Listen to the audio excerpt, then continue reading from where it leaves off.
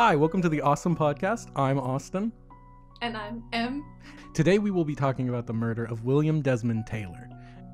Our Murder Mystery Monday podcasts will be coming out every Monday. Hence the name. So stay tuned next week for another murder mystery. But now on to William Desmond Taylor. William Desmond Taylor was born in April 1872 in Carlow, Ireland to parents Major Kearns Deane-Tanner and his mother Jane O'Brien. William's father was a retired British Army officer, and as a teenager, Williams failed a test to enter the military, which disappointed his retired dad. He was then sent to reform school, also a working ranch in America's Middle West. No, that's not a thing. the Midwest, yeah. But it, mm, where is the American Middle West? Uh, don't, don't, don't, I don't know. What what does that mean? Like, do just- you live in the America Middle West? No, it's it's like it's more of an idea. Okay. In 1890, he finally moved to America where he worked as an engineer, a gold miner, and tried to pursue a career in stage acting in New York. In 1901, he married Ethel May Harrison, the daughter of a big time New York stockbroker. In the time that he was married to Ethel May Harrison, he ran an English antique shop that was set up by his father in law. His father in law also helped them financially, which allowed the couple to live in upscale Larchmont. Two years later, the couple was blessed with a daughter, Ethel Daisy. The Taylor family had a very respectable position in New York until he vanished mysteriously in 1908 after having an affair with a married woman. Oh no. Bum, bum, bum. Apparently, he had mental lapses, which made him vanish and reappear suddenly in Hollywood as a big time actor and director. Oh. Okay. Right? That's yeah. Mental lapses. Quotation marks. He very conveniently had an affair with a married woman, and whoops, mental lapse. And how many years later? Four years later, he's just boop, a famous actor and director, right? Yeah, I wish that's- I had a mental lapse like that. I was about to say that's one long mental lapse. right? In ni- 1912, he began his career as a silent film actor and later director. And Ethel May Harrison legally sought for a divorce in this year when she suddenly saw her husband um, in a show screening with her daughter. Oh. He briefly left his career to fight in World War One, and just before he was sent to France, the war ended, luckily. And then in 1914 until 1919, which is short before his death, he had a serious relationship with actress Neva Gerber, in quotation marks, because apparently women came and went like a revolving door. Oh.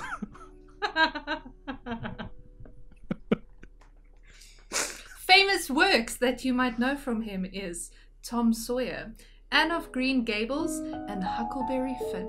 Oh. I have not seen any of those movies, but I kind of want to. Me now. neither. Are we gonna watch it? Yeah, we I got feel it. like we should watch yeah, it we need to watch Okay. these.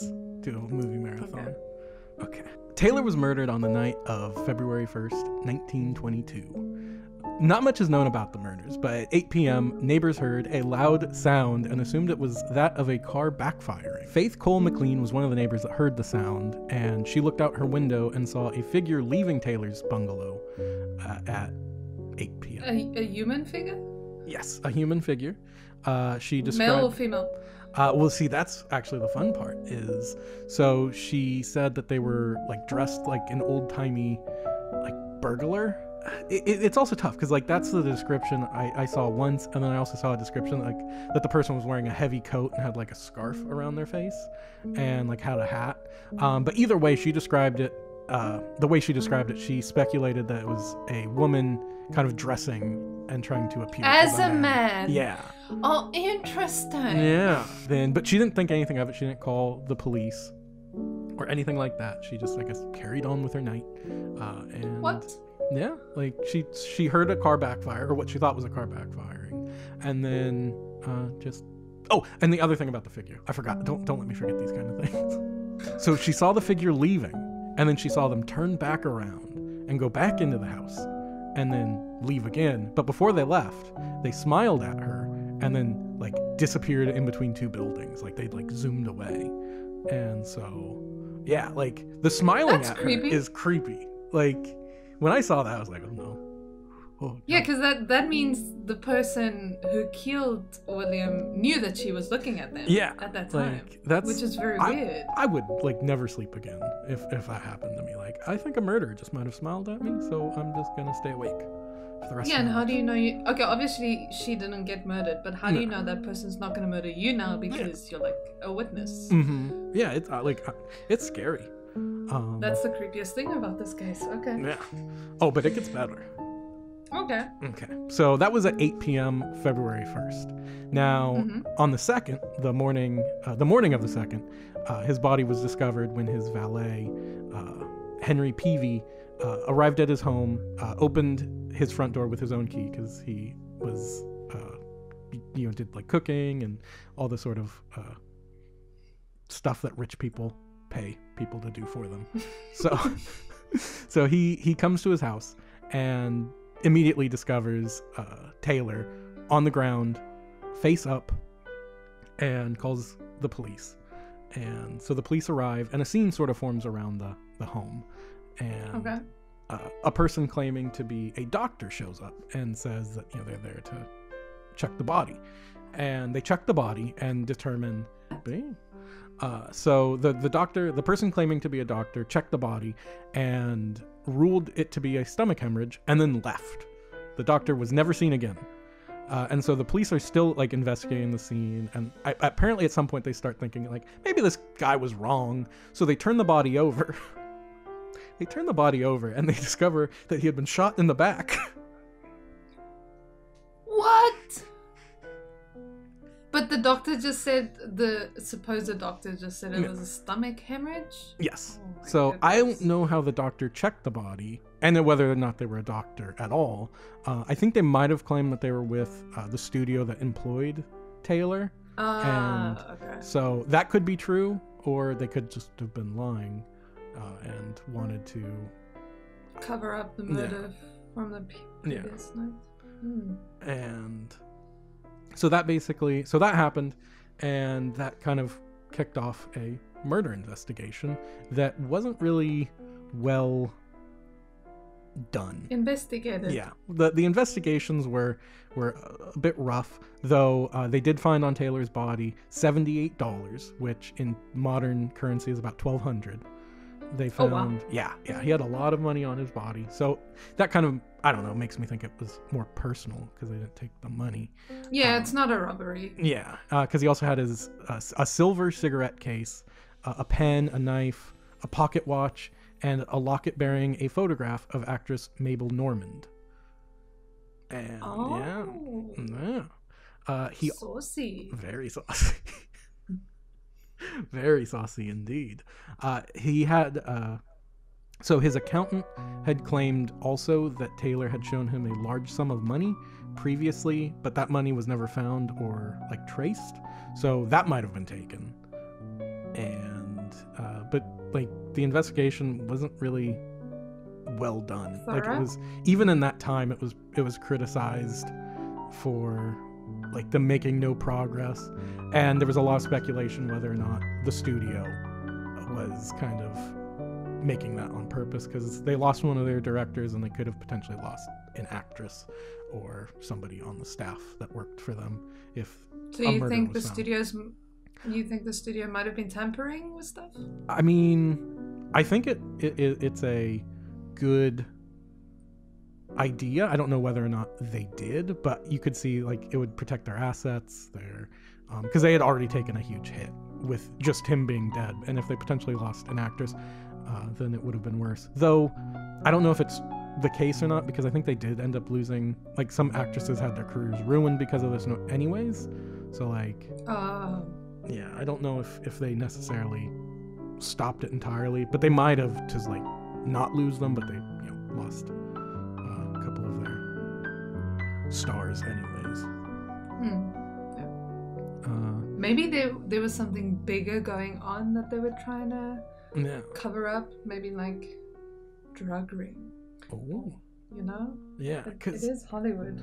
yeah, and also I think at the time, like Hollywood was seen more as like, it wasn't like nowadays if a, st- like a story about an actor being terrible like comes out, you're not surprised. But I think in this era, Hmm. like there were uh, like glitz and glam and like any Everyone looked negative up to thing, yeah. them. Yeah, any yeah, any little thing that was bad would really hurt the business. So I think they would have maybe tried to do anything they could to not let that happen. But in turn, it's very hard to say who the killer was, and there's a list of suspects, and we're going to talk about those. So the the first suspect that I looked into was Edward Sands. He served as Taylor's valet before uh, Henry Peavey and he ended up being fired. Well, not even really fired. Basically, Taylor went on vacation uh, in the summer of 1921 and left Mhm. basically uh, Sands to like take care of everything for him. And what San- Sands ended up doing was he like stole a bunch of his stuff and then like pawned it and forged checks and then I think just like left then like when Taylor came back like his house was missing things and uh, his valet was was gone and he ended up moving to Northern California. Uh, uh, Sands did, and working a job there. And at some point, sent uh, Taylor a letter with like receipts of all like the things he had pawned off and like money. And he had also like uh, sent it to not William Desmond Taylor, but to his birth name, which was something he did not share with people. Oh wow. And yeah, so like he fa- Sands found out, and like from all the descriptions I could find from Sands, he he was a criminal, potentially, Mhm. uh, because he like he seemed to be conning people. He was born in Ohio but spoke with a Cockney accent, and Oh. like he was doing a lot of things to like hide who he was. I think he like deserted the military, and yeah, very very interesting backstory to this person. And the fun part is, so he was living in Northern California, which I don't know. I couldn't find actually where in Northern California, but uh, because his his basically what happened is he was working a job there. He quits the day of February 1st, 1922, the day of the murder. the murder, and was never seen But again. he also found no, Desmond no, um, Uh, Peavey, yeah, Peavey, yeah. Ah, Peavey found the body. This was, uh, yeah, the, the previous valet, and uh, yeah, That's very sus. yeah. So he was never found, and he left the day of the murder. So he could have traveled to Los Angeles, killed him, and then. Now, mind you, like 1922, we didn't have all the you know technology and ways to find people. Yeah. Uh, so like he might have just not disappeared, just nobody really tried to look. But yeah, like he was never heard from again. Like he's been dead probably for a long time because So he was never questioned on the never murder as well? questioned. He was seen as a person of interest, but they never put out a warrant. So Oh like wow. yeah, part of the reason he was never found could have been because they just didn't care. Hmm. But yeah, so like it, it really sucks because like there's a whole like something missing there because he quit the day of the murder and disappeared. Okay, so the other the other suspect was Henry Peavey, who was the valet at the time for Taylor, and he had Who been, found him? Yes, Okay. yes. He was the person that found him, had the key, uh, and he was seen as a suspect for much of the case, though he ended up being ruled out by the police. Yes, he previously worked for Millicent Fisher, who was the wife of a famous director, Christy Cabanne. He, from from what I could tell, he seemed like a good. Uh, he seemed like a good valet. Like I couldn't find any really it, like issues between the two. Though three days prior to Taylor's death. Uh, What happened? okay, okay. Three um, days prior. Three days prior to the murder, Peavey was arrested for social vagrancy and charged with being lewd and dissolute. What is social vagrancy? I don't know. oh yeah, okay. So his court date was scheduled for the morning of the murder, or sorry, the morning of the discovery of the body. Uh, Okay. So, uh, I, th- uh, I, I believe one of the reasons why Peavey had arrived was because he was going to be picking up Taylor, or him and Taylor were going to be going to the courthouse that day because Taylor was going to be serving as some sort of witness um, to speak towards the nature of Peavey. And uh, so he died. I don't know. I couldn't find anything about what happened to the court date then, but he was suspected for the, the murder and was investigated, which for me personally, I don't see why he would kill the person that would be trying to help him get out of a criminal charge. But, uh, anyways, he was cleared but there was a uh, Hollywood correspondent for a daily news paper and uh, named Florabel Muir. She came to the conclusion that he was the killer. Uh, so, despite not being really paid attention to anymore, she wanted to like get the story and have it. Uh, mm. So, she ended up paying him ten dollars to go to the cemetery where he was buried and she had two uh, helpers. Uh, and so Henry Peavey was a black man, and she had the very racist idea from that she had seen in movies that black people were scared of ghosts. And so she had hired two men. Wow. Yes, to dress in to dress as a ghost and come out in the graveyard in the cemetery and say scream uh, let me make sure I have the, the quote. Uh, I am the ghost of William Desmond Taylor. You murdered me. Confess. Uh, now, the thing they did they didn't think about was Taylor had a British accent, and the people that she had brought in were uh, from uh, Chicago, which is not very similar to a yeah. British accent. So uh, Peavey then immediately laughed at them and uh, just went on his way. Like and he probably wasn't even scared of ghosts or didn't yeah. believe in ghosts. Yeah. Yeah. So he was pretty much, yeah, um, not seen as, as a suspect after a while. And after that whole thing, kind of lived his life, moved to San Francisco, and he ended up dying uh, in 1931. And now the third suspect I have is Mary Miles Minter, who was child actor. yes, the child actress. Uh, she was connected with William Desmond Taylor.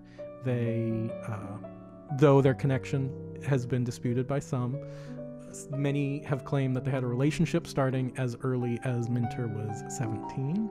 And uh, then there are others, though, that claim that it was kind of an unrequited love, where she had oh. feelings towards him and he would avoid seeing her whether or not that's true, it's very difficult to say.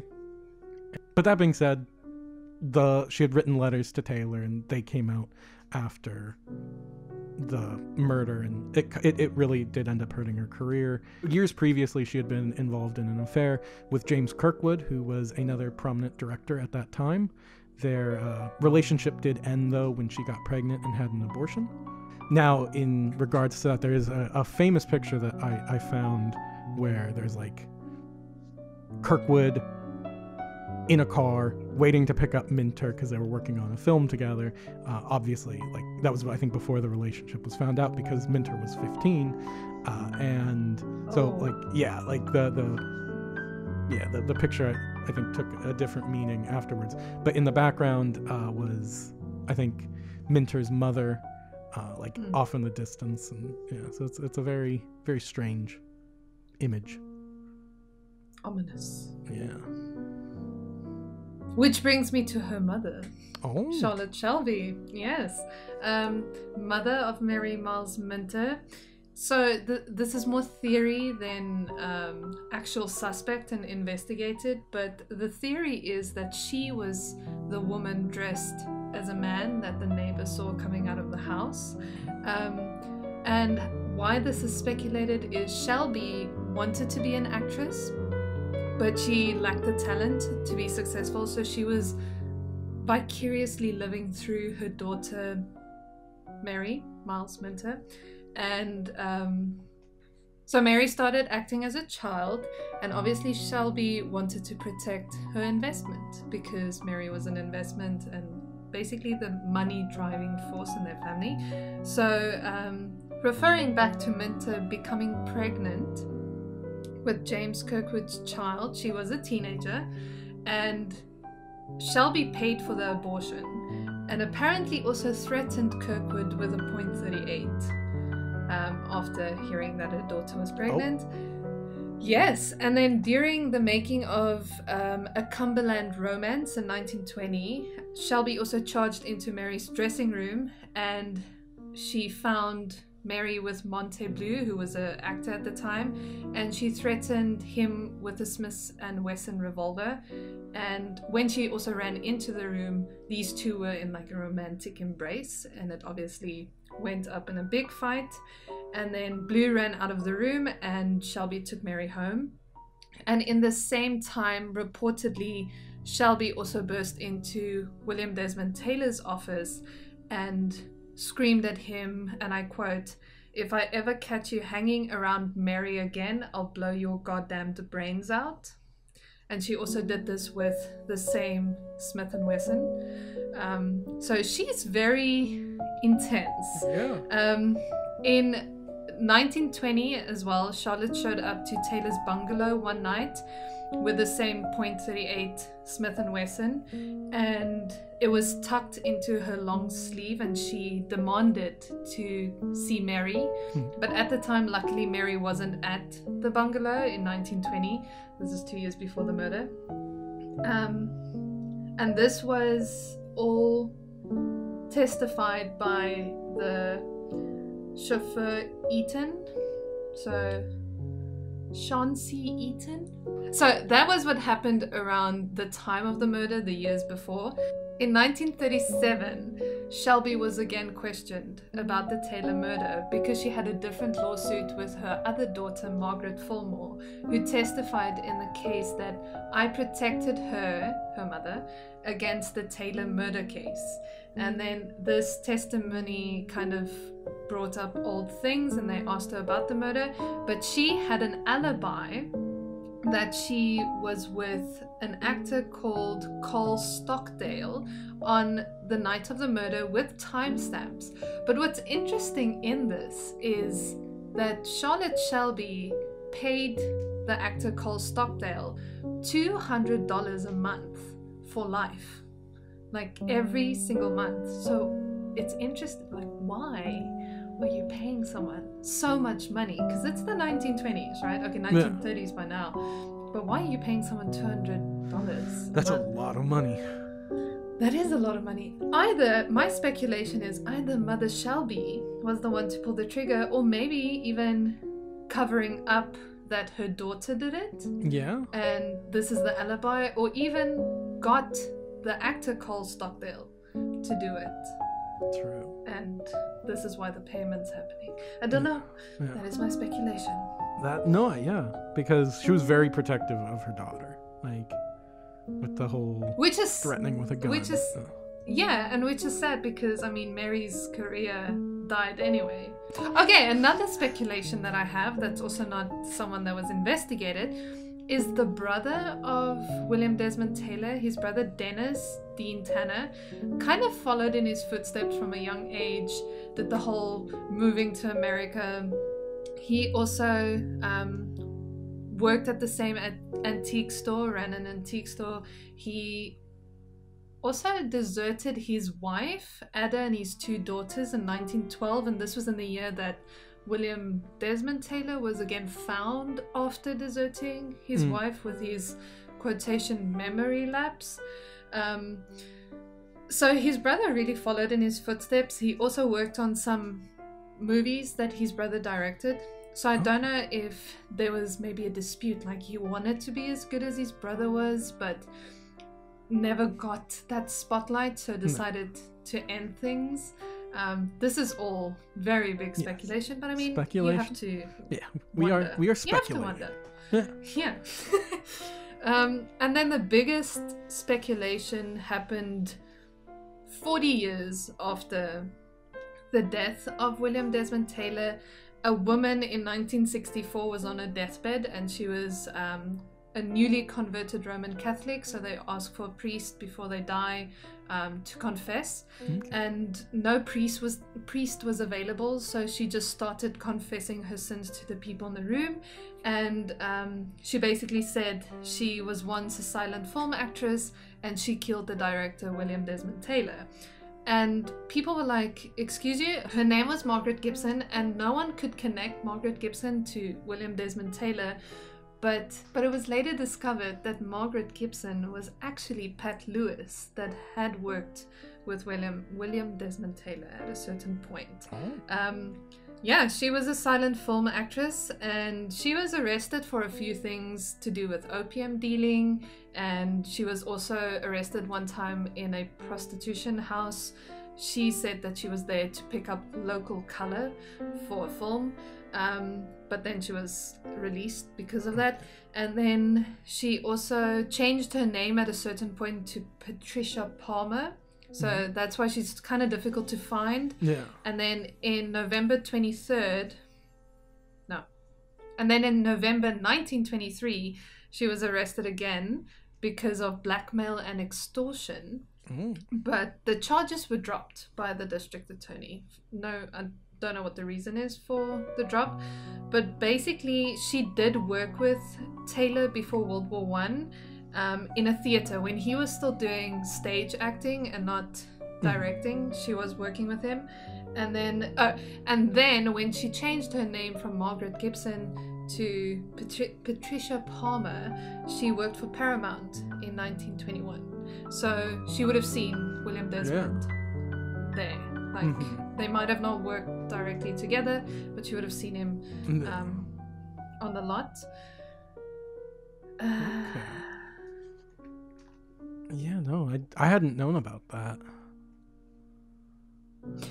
So, why they also speculate that she might have had something to do with the murder is she might have known him on a more personal level, level because of their previous work experience. Mhm. And it was um, speculated that William Desmond Taylor might have been bisexual, and this would have been something in the 1920s to ruin your career. So they think there might have been a group of people involved with blackmailing him, and then that kind of Mm. turned into his death, Yeah. which is sad. Yeah. And that's basically.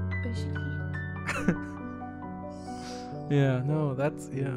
Could the mysterious man who was seen leaving Taylor's bungalow the night of the murder have been Dennis Dane Tanner, his younger brother? The trail on Dennis Deane-Tanner ends in 1930. Yeah, I, I don't know. Could yeah, could have been the brother. Um, now you want to hear like my insane speculation?